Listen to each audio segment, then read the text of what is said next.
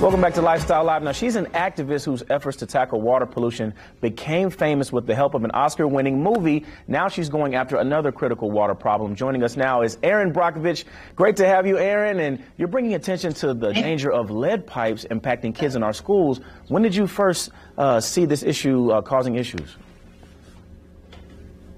Well, listen, these lead issues have been lurking around out in the water system for quite some time. And I, like rest of America, really learned a lot about lead, uh, lead when the whole Flint situation happened.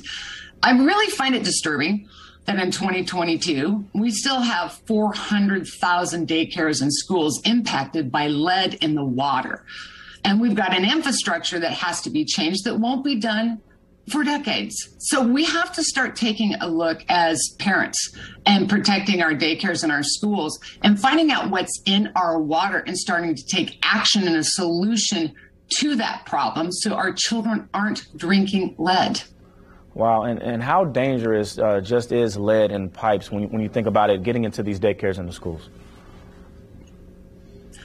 Lead is dangerous and we know that especially with children and it can cause certain issues and learning problems and it is of concern and we have lead contamination just playing itself out throughout the country. And i know when we always hear this uh, it's quite frightening but i want parents to know that there's solutions that we can take. And i am really happy to be a part of the brita water solution we are doing a campaign to inform parents and give them an education and knowledge on lead and water through a water solution program. And if you go to brita.com slash daycare, parents will have a place to go to to learn information and we will send you filters. So in the daycares, you can be assured that water that's being used that could have lead contamination in it will be filtered and safety for your children. Uh, what can be done to ensure that the water we drink is pure in the meantime? What do you feel like can be done? What's, what are some things that parents can do? Well, in the meantime, um, you're going to have to be informed and find filtration specifically for lead, which we're discussing this morning, that will be the solution. Also, we need to understand our water quality reports. And if you have a concern about your water, and lead in your water, you need to call your municipality.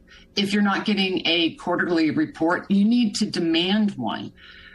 Part of the solution will be us taking action, being informed, and using filtration for safe drinking water for our children until we have the bigger solution and our infrastructure issues and our lead pipes resolved.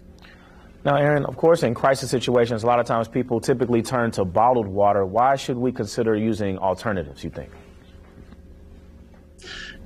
Well, so bottled water can't just be the only solution. And I understand bottled water has its purpose in emergencies, but we have an amazing water system and we should be able to trust our municipality and our water. And I think that it's important to know that you can have the bottled water for that backup, but bottled water is leading to other issues with you know, drawing down aquifers and the pollution that we're all learning from the plastics throughout the ocean. So I do think that we have a great water system. We need to trust it and we should be able to rely on it. Awesome. And in an emergency situation, of course, bottled water, bottled water is necessary. Awesome, Erin. Before we let you go, uh, how can people follow this campaign that you're on right now? So go to brita.com slash daycare. You will learn a lot of information for water solutions. Awesome. She's Erin Brockovich, everybody. Thank you so much for having us. We appreciate you.